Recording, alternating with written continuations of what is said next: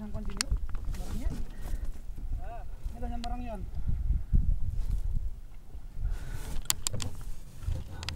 dulu